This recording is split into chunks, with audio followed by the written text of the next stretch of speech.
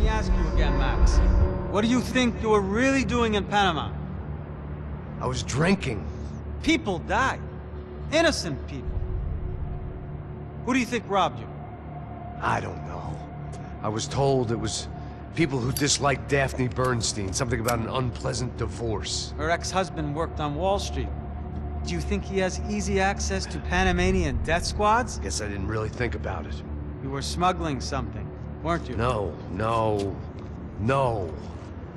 I mean, I didn't realize it at the time. I, I didn't think too much about it, but yes, Marcelo did drive off with something. I don't know what. I didn't see him until we got to Brazil a week or so later. I think it was money. I think Marcelo and Victor have a friendly banker there in Panama. Your little cruise was to deliver the cash to him because there it's easier to launder. But I thought the Brancos were rich. Hmm. Rodrigo's rich. The other two, they live well, but they don't have real money. Victor's campaigns were always financed by his brother. That is the way among certain rich families there. The eldest brother is the king. You know, he gets everything. The other two, not so much. And now Rodrigo's dead. Exactly. In Marcelo, too. It's an awful tragedy for Victor, huh? A man running on a law and order ticket, you know, whose brothers have both been killed in such terrible circumstances. A true patriot. What about Marcelo? Marcelo. Marcelo was an idiot. Were this true, I certainly don't believe he could possibly have known about it. But I do believe some other scheme, you know, some other bullshit. Whatever that cash was, Victor could have talked him into something. I don't know yet. And Passos? Raul Passos is a bum ex-cop. He failed in America, failed in Sao Paulo. He was surrounded by more money and more poverty than his tiny little head can handle. You think guys like that can't be bought? No, but if... But nothing. He's probably not a bad guy. He's just a man caught in the crossfire of a very rich family. What about me? You. You're the fall guy. The American. Running around, acting like the action hero, killing lots of people. You're a stroke of genius. That ain't how it is. You were an angry ex-cop. You were sitting in a bar with a history of violence and a history of a bad temper. You were perfect. Me and Passos went to the academy together. Did you? I don't fucking know. Okay, let's take a drive, Max. You want to do some good? Hmm? Want to get yourself killed in a good cause? Then I need you to check something out for me. Like what? That incident at the favela today. Now, some of my officers say a bus drove off some captives, They did, I saw it. but no captives were ever booked. They probably handed them off to the paramilitary death squads, the, uh... Cracha Preto? Right. Who did? I don't know, the cops. The other cops, the cops who shoot on sight. The UFE. Right. Max, you see that building there? The Imperial Palace Hotel? Yeah, that's what it says. People go in there in large groups under armed guard, but it isn't a police station, and no one comes out of there. Why don't you just go in and bust the joint? Get a warrant. I'm only a cop, Max. So you keep saying. Time to find out what was going on here. I didn't fancy booking myself in the presidential suite, so went looking for the basement.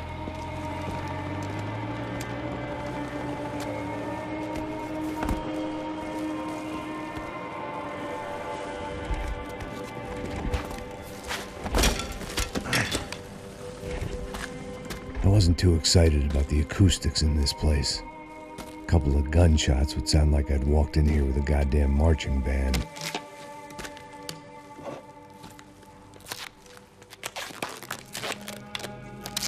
It wasn't pretty, but I guess none of what was about to happen was gonna be.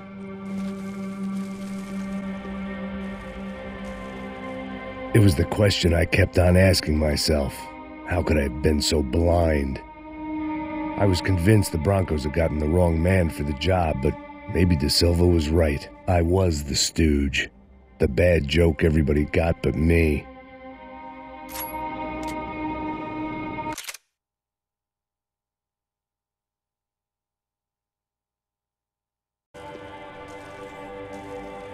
It was the question I kept on asking myself. How could I have been so blind? I was convinced the Brancos had gotten the wrong man for the job, but maybe Da Silva was right. I was the stooge. The bad joke everybody got but me.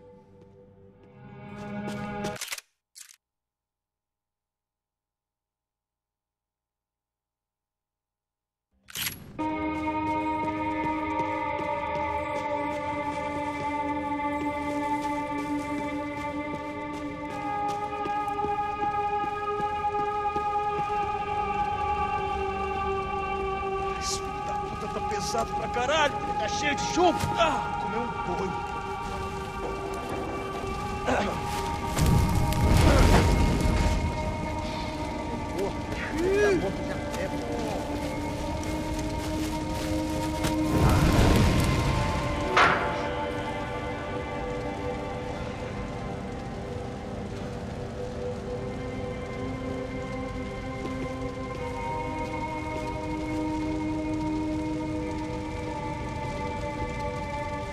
Either those guys wheeled their trash out on stretchers, or something was seriously wrong here.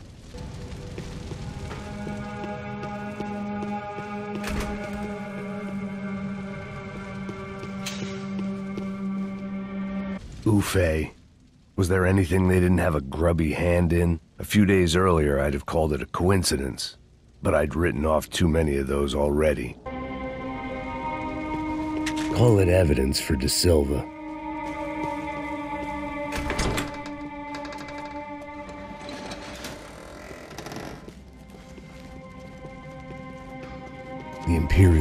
Palace Hotel was a five-star bona fide shithole. I needed to find out why guests were checking in by the busload and checking out by the bag load.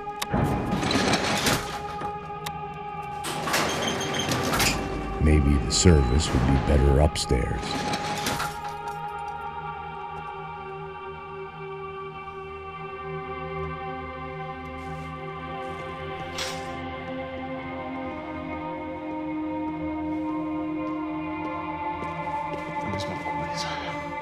Você não tá fazendo nada, tô fazendo tudo sozinho. Como é que eu não tô pegando nada, rapaz? De olho e escutando você reclamar. Ó, ó, ó, ó. Olha o quê? Para com essa viadagem, para de reclamar. Saco cheio. Porra, põe as coisas aqui em cima.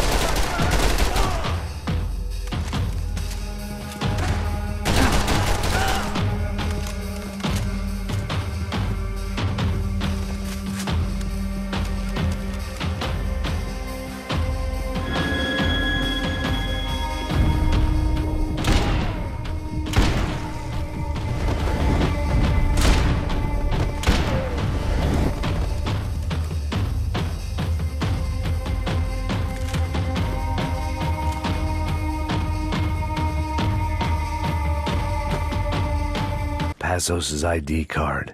It was no great surprise he'd made their hit list, but to discover he was really Colombian? No wonder some locals seemed to laugh at his accent. What else had he lied to me about? Da Silva and I had the same fan club. I knew enough, and he knew too much. We'd both become targets.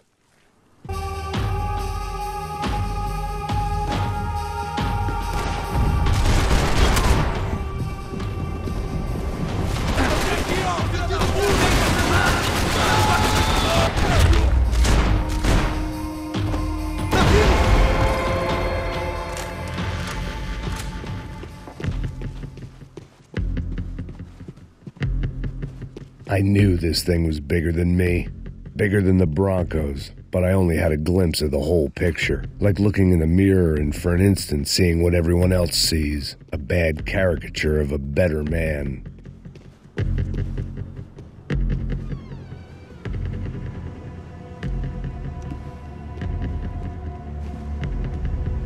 Ufe, eh? that deal at the favela was getting dirtier by the minute. Bastards were clearly in bed with the Cracha Preto. Now we just have to find out why. Starting with a bit of bedtime reading for Mr. Da Silva. When you've lived the kind of life I've lived, reality comes at you through a different lens. But nothing could have prepared me for what was on the other side of that door.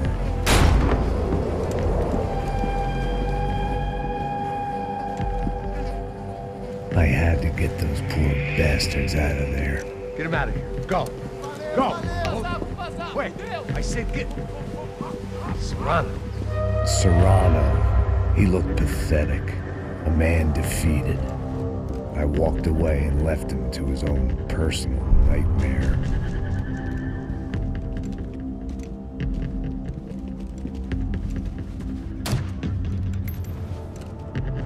Whatever hell this was Da Silva had sent me into, I knew I had to put an end to it.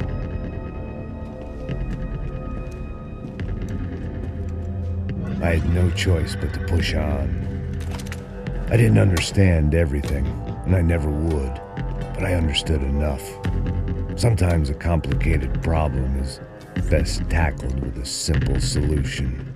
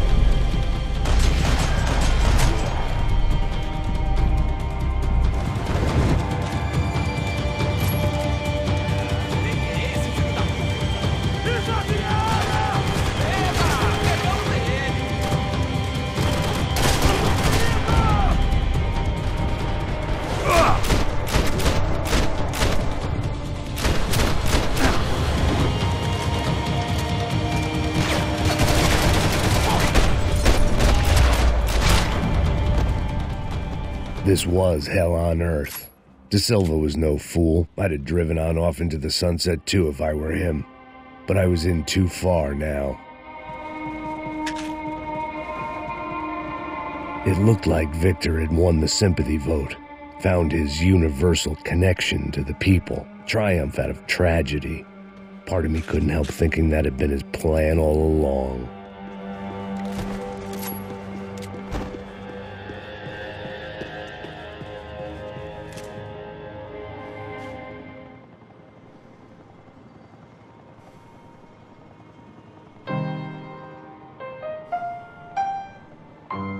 There it was, the soundtrack to my life. And, for a few seconds, came harmony.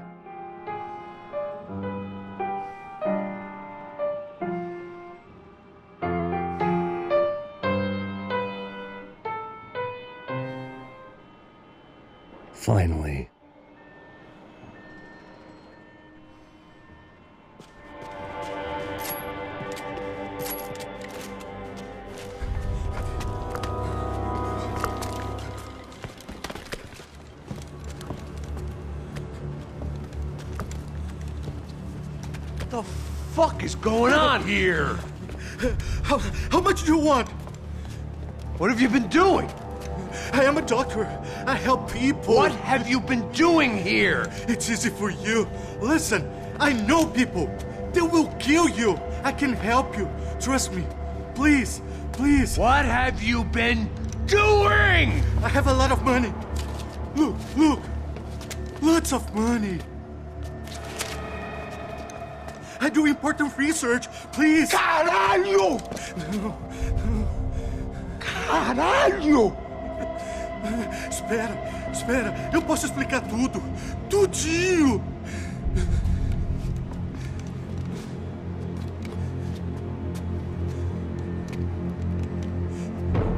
Não, não. Por favor.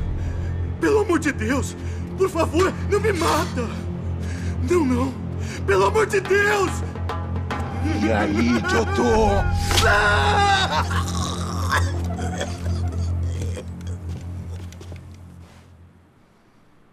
For all Serrano owed me, he'd paid enough. For now, I had bigger debts to call in. Even I could guess what demolisal meant. That building was condemned in more ways than one.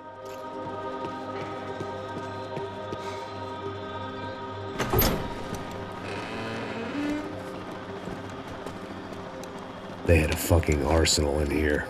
It was time to bring this little hellhole to the ground, so I decided to put some of their C4 to good use.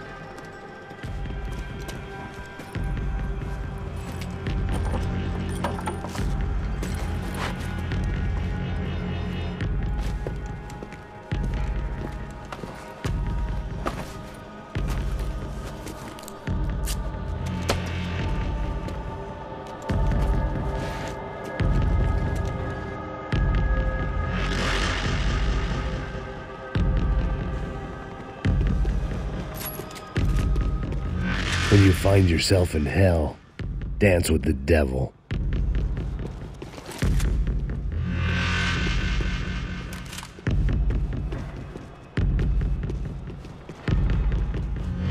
Either Victor Branco and Neves were doing a lot of charity work together, or this was payment for something else.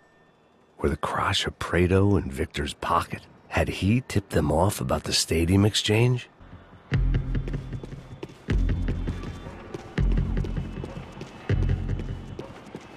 Had to hurry up before more of those assholes showed up.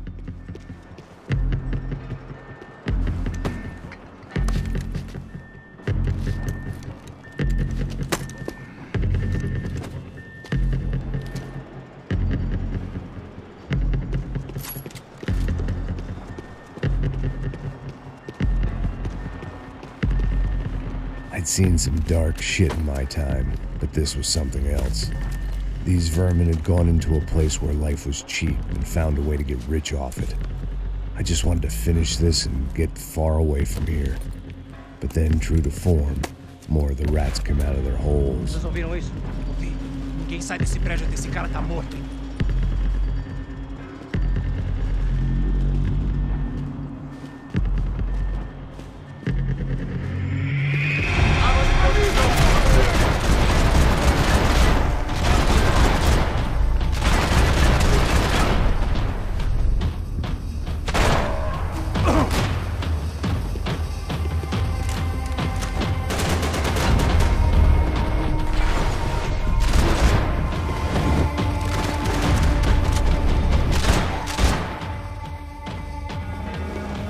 At least my visitors have been kind enough to leave the gate open.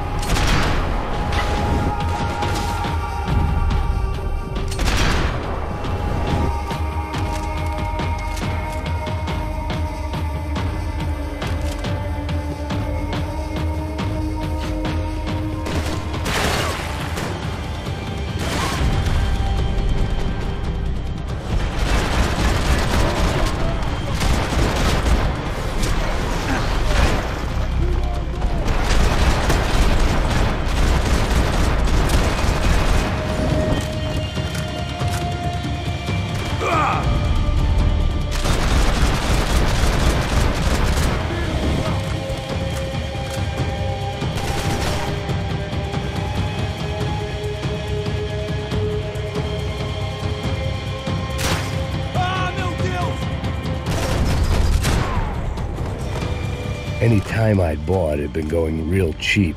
If I was gonna plant the rest of those explosives, I had to do it now.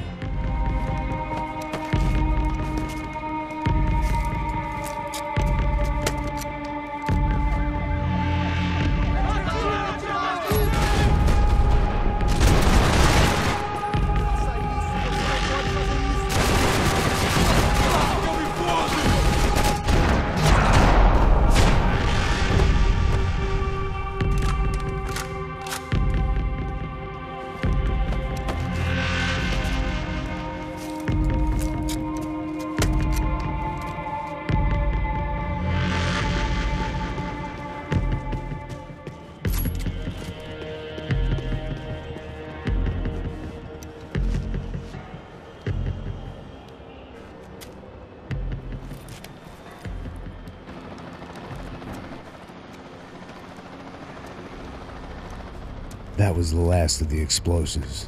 I just hoped it was enough to bring down the building and all the evil in it. Vai, vai, rápido, rápido, vai! Who wants to take a shot? You see what this is? Come on, anybody? Want to be a hero? I got nothing to lose. Let's do it. Que porra que tá acontecendo aqui? Senor Neves. What the fuck is your problem, man? My problem? My problem? Wanna know what my problem is? You're turning humans into glue. That's what my fucking problem is. I don't know what you're talking about, American. All I know is what I hear about you.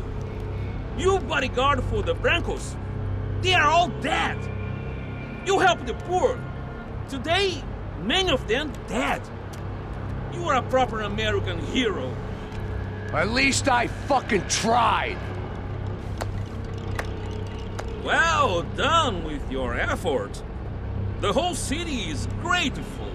The great American savior of the poor. That's right. You think you made any difference? You think stopping this legitimate business venture is helping anyone? Legitimate? You're stealing people's organs! We pay for everything. We have the record. Oh, so people can sell their livers? Their hearts? Their eyeballs? You're insane, you sick fuck! We kept people safe in the city. Decent people. Safe.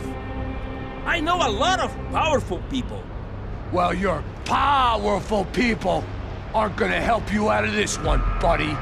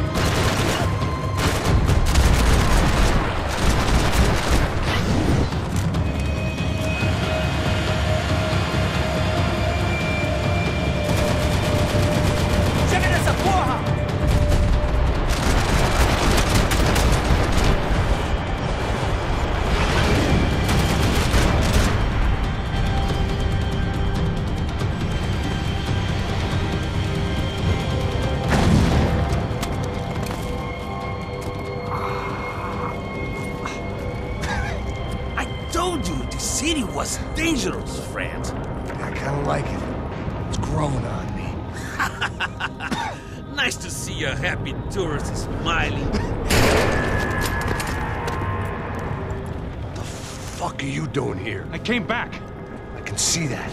But why? to save you. Oh, yeah, real hero. Listen, now, come with me, Max, to Brazil. Be a chance to play the fall guy in a plot that my boss's brother's hatching to profit from the selling of human organs. Yeah, it'll be perfect for you. what are you talking about? I don't know nothing about human organs, man. Victor and Marcelo are trying to teach Rodrigo a lesson. Get into losing the purse strings and the family money. They pressured me into doing it. You wanna die? I came back for you. I did my best. I'm having a kid, Max. I gotta go. Fuck you! Sure. Later. Now, let's go. Hope this thing works.